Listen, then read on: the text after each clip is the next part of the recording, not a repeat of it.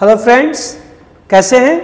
आशा करता हूँ कि आप सारे सेशंस एक एक करके देखते चले जा रहे हैं और हमसे जुड़ते चले जा रहे हैं। आप जब भी अगला सेशन देखें तो पिछले सेशन को देखने के बाद ही आएँ तो बेहतर मज़ा आएगा। तो आइए, एक बार फिर से चलते हैं नए सेशन की ओर।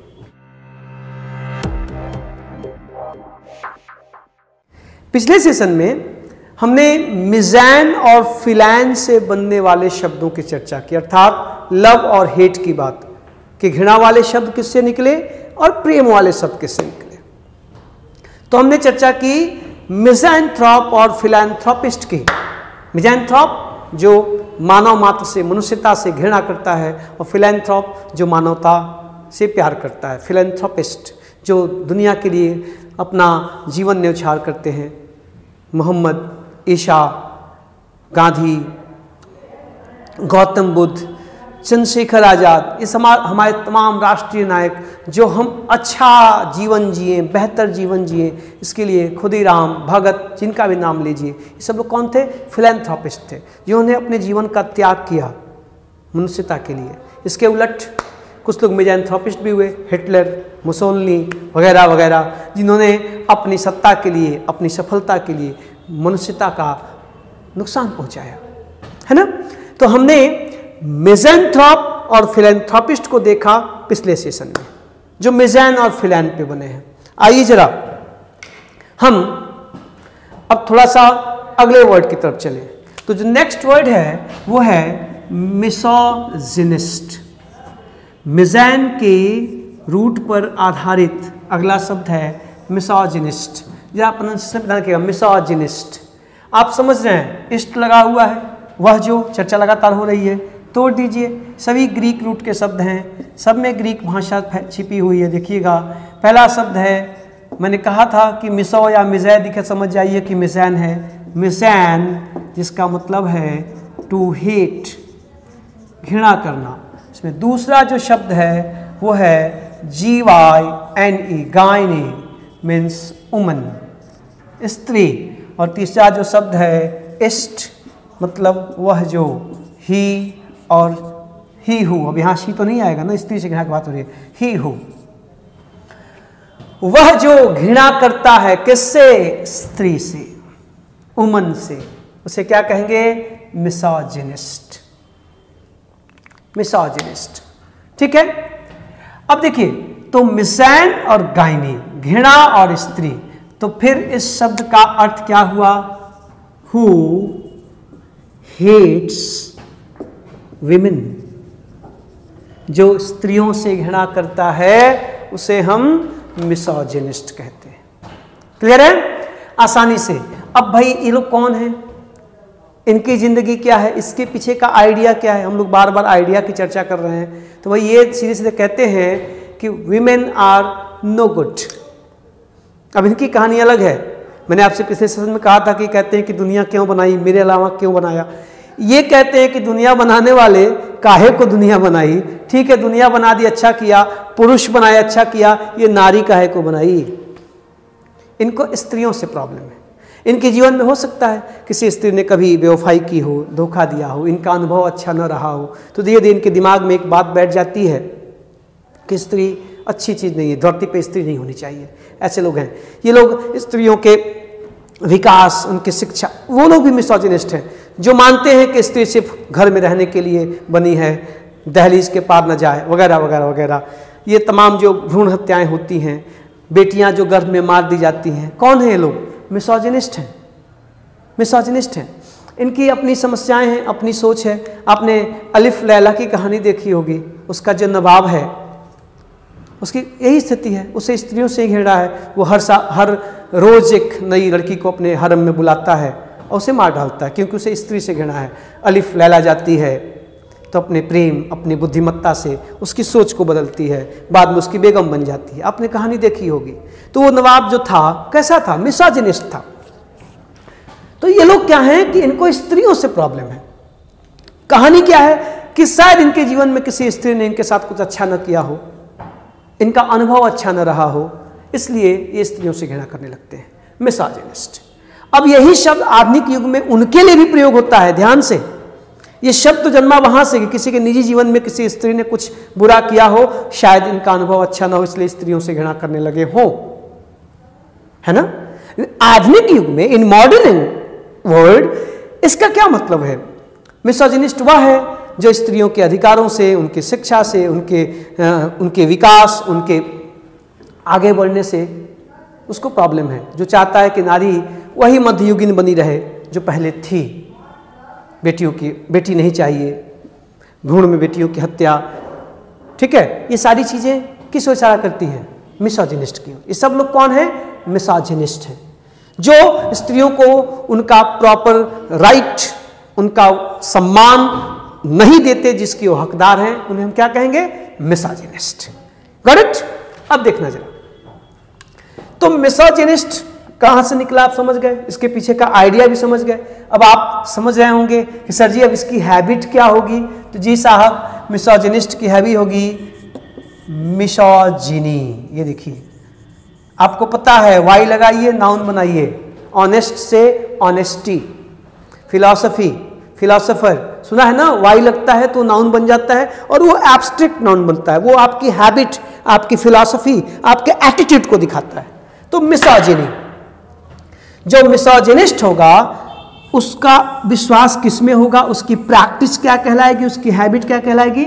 मिसोजिनी क्लियर है? वही लगा के नाउन बना लिया। ये कॉमन नाउन ये एब्स्ट्रिक्ट नाउन ये पर्सन है, ये उसकी हैबिट है। और इसका एडजेक्टिव क्या बनेगा? तो इसके दो एडजेक्टिव बनेंगे। एक मिसोजिनिस्टिक क्या बनेगा? मिसोजिनिस्टिक आईसी लगा के चर्चा हो चुकी है। और दूसरा इसका एडजेक्टिव बनेगा दोस्त मिसोजिनस इसकी चर्चा भी हो चुकी है कि कुछ एडजेक्टिव्स के अंत में ओ यू एस लगता है तो क्या बन जाता है? एडजेक्टिव बन जाता है। फ़ेमस सफिक्स एडजेक्टिव के लिए। तो मिसोजिनिस्ट को जो आप एडजेक्टिव में चेंज करेंगे तो ये मिसोजिनिस्टिक भी होगा ये मिसोजिनस भी होगा मिसोजिनिस्टिक मिसोजिनस ये एडजेक्टिव है ये उसकी हैबिट है उसकी फिलॉसफी है उसका एटीट्यूड है और ये पर्सन है so if you are a misogynist you will practice misogyny.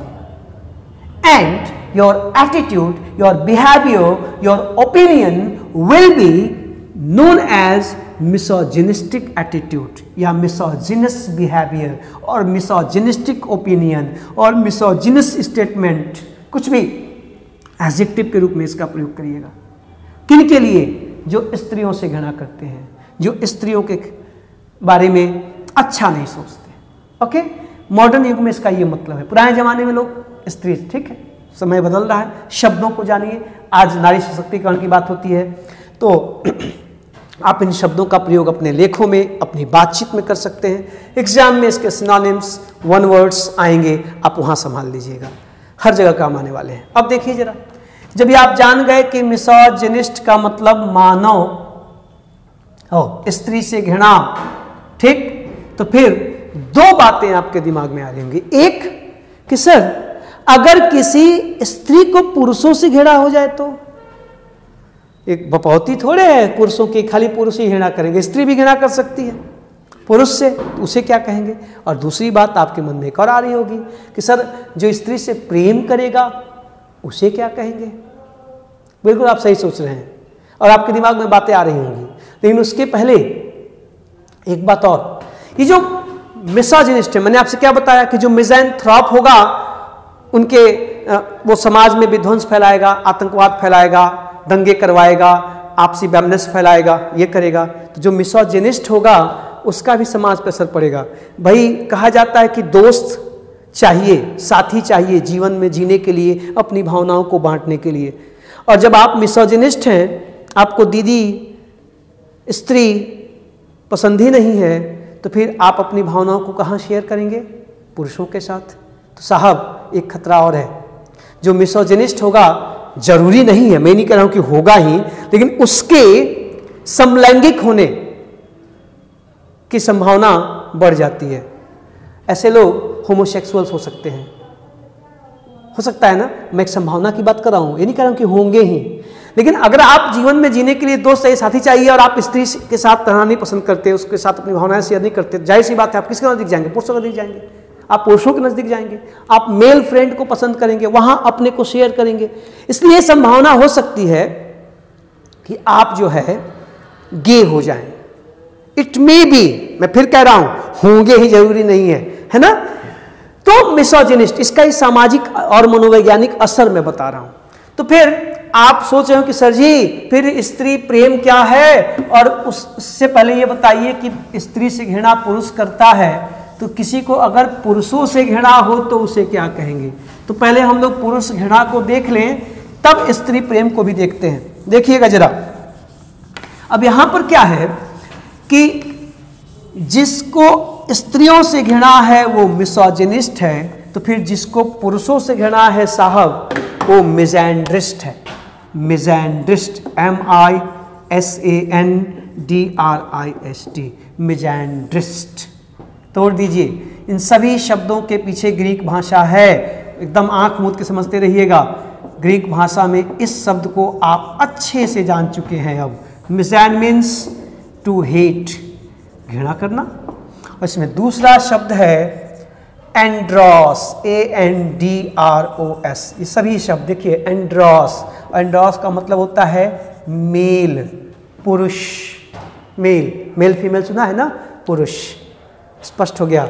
और इष्ट लगा है साहब तो इष्ट का मतलब अब यहाँ पर वहाँ ही हु था तो यहाँ शी हु कर दीजिए। वह जो वह जो पुरुषों से घृणा करे, उसे हम मिजाइंडिस्ट कहेंगे। ये देखिए, ध्यान से, सब आपके एग्ज़ाम में वन वर्ड में आएँगे सिनोनिम्स में आएँगे, वहाँ संभाल लीजिएगा। और अब आप समाज में सामाजिक मुद्दों पर बात करें तो कॉन्फिडेंस के साथ वर्ड्स का प्रयोग करें। ये देखो तो फिर इसकी हैबिट मन में चल रहा होगा ना? बना दीजिए। क्या बन जाएगा बेटा? मिजेंड्री और इसका एजिक्टिव क्या बनेगा? मिजेंड्रस और अब इन शब्दों का प्रयोग आप सीख गए हैं। जो व्यक्ति घृणा करेगा, वो पर्सन मिजेंड्रिस्ट कहलाएगा, कहलाएगी बल्कि। और उस, जिस फिलोसफी में, जिस हैबिट को वो फॉलो करेगी, वो क्या कहलाएगी? मिजेंड्री और उसका एटीट्यूड कैसा होगा? Misandrous if you are a misandrist you nourish a misandrous attitude misandrous opinion and you believe in misandry you practice misandry got it तो ये देखिए, पुरुष घृणा, स्त्री घृणा आमने सामने खड़े हो गए। अब आपके मन में ये ज़रूर चल रहा होगा देखिए, ये एंड्रॉस आया, आगे सारे रूट अच्छा एक और चीज़ है जो मैं रूट लिखता चलता हूँ ना, इनको आप प्लीज़ स्क्रीनशॉट लेके नोट्स में सहेजते चलिएगा, क्योंकि ये सारे शब्द आगे और आएँगे तो बार बार अब आपको याद न दिलाना पड़े कि देखो, इसका मतलब पुरुष है, इसका मतलब स्त्री है, इसका मतलब साइंस है, इसका तो फिर सारी मेहनत बेकार हो जाएगी। आपको घर पे अब एक नोट्स बनाने की ज़रूरत है, संभालते चलिएगा, ये मशक्क़त, ये मेहनत जो की जा रही है, हम एक दूसरे के काम आए, ये बहुत ज़रूरी है। आइए जरा स्त्री प्रेम के लिए भी शब्द को देख लिया जाए। तो आप जब इसके लिए फिर अब स्त्री प्रेम की बात करेंगे तो स्त्री प्रेम में आपको जो शब्द आएगा वो होगा, मैंने बताया था ना, प्रेम के लिए फिलैन तो देखो, philogynist, P H I L O G Y N I S T, philogynist. Clear हो गया ना? तोड़ दीजिए। पहला शब्द है P H I L E I N philein means to love दूसरा शब्द है गायनी। गायनी, देखिए जिनिस्ट गायनी आया है ना? मीन्स उमन। और तीसरा शब्द है इस्ट मीन्स ही हु वह जो। वह जो स्त्रियों से प्रेम करे, उसे क्या कहेंगे साहब? फिलोजिनिस्ट तो ध्यान से स्त्री घृणा भी हो गई, स्त्री प्रेम भी हो गया और पुरुष घृणा भी हो गई। सारे शब्द आपके सामने आ रहे हैं, देखिएगा। अब कोई कहे कि भैया, जो फिलोजिनिस्ट होगा, उसकी हैबिट क्या होगी? तो फिलोजिनी सिंपल सी बात है। अब आप तो खुद ही विद्वान बन गए, बनाइए धनाधन सब। और इसका एडजेक्टिव फिलोजिनिस्टिक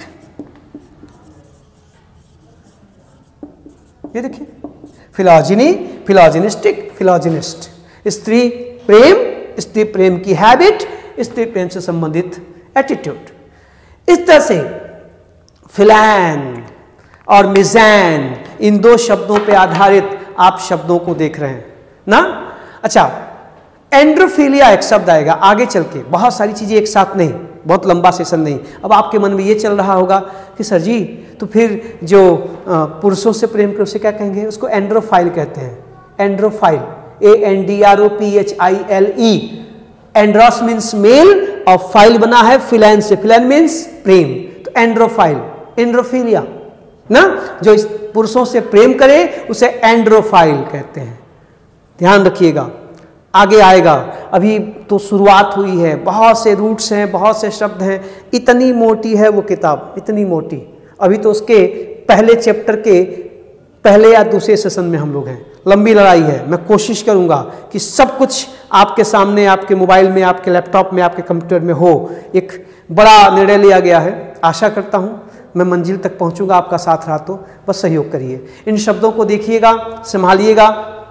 अगले सेशंस में कुछ और भी वर्ड्स आएँगे। हाँ आप ये सोच रहे हो कि सर जी, आपने ग्रामर का भी वादा किया था, लगातार वकैब आ रहा है। तो इधर मैंने सोचा कि थोड़ा नया नई श्रृंखला शुरू हुई है, नई सीरीज़ शुरू हुई है, आप एक्साइटेड होंगे तो लगातार आपको कम से कम 10-12 सेशंस दे दूँ। उसके बाद फिर आराम से बांट लिया जाएगा। तीन वीडियो जो मिलेंगे, उसमें कुछ ग्रामर के भी होंगे और इसके तो होंगे ठीक है? आई होप आप इसको एंजॉय कर रहे हैं और कर रहे हैं तो हमें महसूस कराइए और लोगों तक फैलाइए। आप ही के माध्यम से मैं पहुँच पाऊँगा। आप ही मेरे प्रचारक हैं, आप ही मेरी ताकत हैं और संबल हैं। मिलते हैं नेक्स्ट सेशन में। Thank you